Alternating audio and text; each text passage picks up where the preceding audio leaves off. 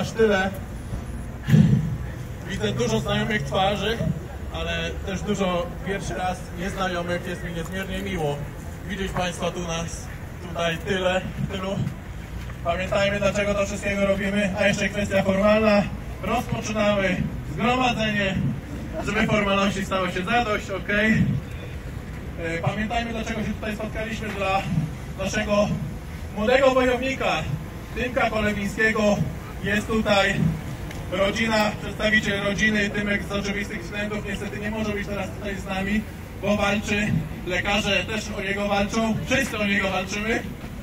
E, Ten, pie, ten piękny gest Solidarności, który tutaj wszyscy Państwo okazujecie w dniu dzisiejszym, mimo tej pogody, która nie jest wspaniała, jakaś mogła dużo lepiej. Serdecznemu przyjacielowi Dziękuję, witam Państwa bardzo serdecznie. Chciałem podziękować za przybycie tak liczne e, Sebastianowi za zorganizowanie, za zorganizowanie tej akcji. E, Walczymy razem dla Tymka od wielu tygodni, ramię w ramię. Nie spoczniemy, póki nie wygramy.